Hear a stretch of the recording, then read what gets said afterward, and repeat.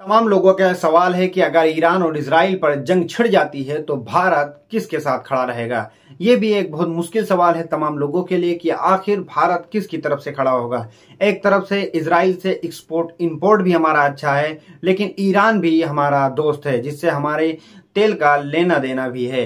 अब देखते हैं इसमें क्या होता है आगे वीडियो में। अगर दोनों देश युद्ध में उलझते हैं तो इसका भारत पर भी असर पड़ सकता है, क्योंकि इन दोनों देशों से भारत के व्यापारिक संबंध रहे हैं। इसराइल जहाँ तकनीक के क्षेत्र में अग्रणी है, वहीं ईरान प्रमुख तेल उत्पादक देश है। ईरान ने मंगलवार को इसराइल पर करीब 200 मिसाइलों से हमला किया था। इसके बाद से आशंका जताई जा रही है कि इसराइल ईरान पर पलटवार कर सकता है।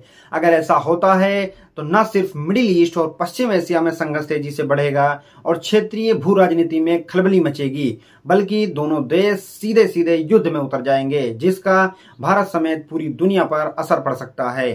सूत्रों के हवाले से मीडिया रिपोर्ट में दावा किया जा रहा है कि इसराइल ईरान पर बड़ा हमला करने की तैयारी में है, और उसके संभावित लक्ष्यों में ईरान के तेल डिपो, हवाई अड्डे, परमाणु ठिकाने, यूरेनियम खदाने सैन्य ठिकाने और रिसर्च रिएक्टर सेंटर हैं। बढ़ते तनाव को देखते हुए भारत में नई दिल्ली इसराइल दूतावास की सुरक्षा बढ़ा दी गई है। दिल्ली पुलिस ने दूतावास के बाहरी इलाके की घेराबंदी कर दी है। अगर दोनों देश युद्ध में उलझते हैं तो इसका भारत पर भी असर पड़ सकता है, क्योंकि इन दोनों देशों से भारत का व्यापारिक संबंध रहा है। इसराइली इसराइल जहाँ तकनीक के क्षेत्र में अग्रणी है, वहीं ईरान प्रमुख तेल उत्पादक देश है। इस बीच भारत विदेश मंत्रालय ने नागरिकों को ईरान की गैर ज़रूरी यात्राओं से बचने की सलाह दी है।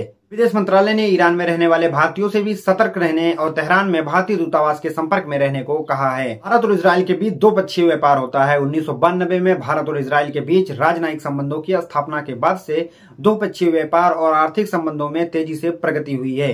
उन्नीस सौ बानवे में 200 मिलियन अमेरिकी डॉलर का व्यापार बढ़कर वित्तीय वर्ष 2023-24 में 6.53 बिलियन अमेरिकी डॉलर रक्षा को छोड़कर हो चुका है।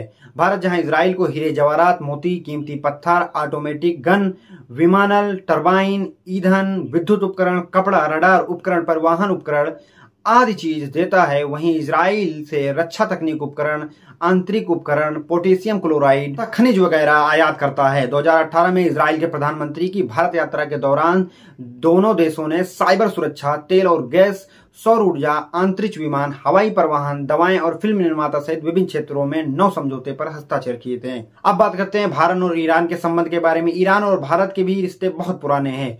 भारत के उन्नीस से ईरान के साथ राजनयिक संबंध है। भारत, ईरान का चावल, चीनी मानव निर्मित स्टेपकल फाइबर, इलेक्ट्रिक मशीन, कृषि वस्तुओं के उत्पाद। चौदह दो से भारतीय बासमती चावल का सबसे बड़ा, दूसरा सबसे बड़ा आयातक देश रहा है। आदि चीज़ आयात करने वाला ईरान रहा है। माना जा रहा है कि युद्ध में होने वाले दो पक्षीय व्यापार बाधित हो सकता है और आयात निर्यात घट सकता है।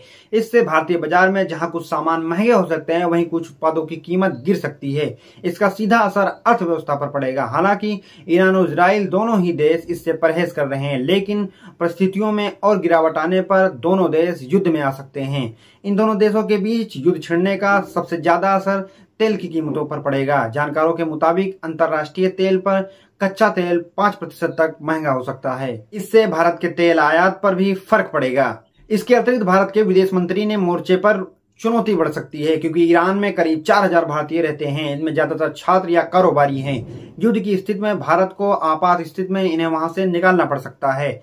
ज़्यादातर भारतीय तेहरान में रहते हैं। इसके बाद विरिंजा, जबोल, मशहद में भी कुछ भारतीय रहते हैं। इसराइल भी भारत के लोग रह रहे हैं, जहाँ करीब पचासी हज़ार भारतीय मूल के यहूदी निवास करते हैं। करीब अट्ठारह से बीस हज़ार भारतीय इसराइल में नौकरी भी कर रहे हैं। ये सभी कंस्ट्रक्शन मैन्युफैक्चरिंग और सर्विस सेक्टर में कार्यरत हैं। इसके अलावा वहाँ करीब एक हज़ार छात्र पढ़ाई भी करते हैं। इस तरह से अगर ईरान और इसराइल के बीच में जंग छिड़ती है तो कहीं ना कहीं ये एक बात की ये भी चुनौती रहेगी कि वहाँ से भारतीयों को निकालना भी, भारत भी है।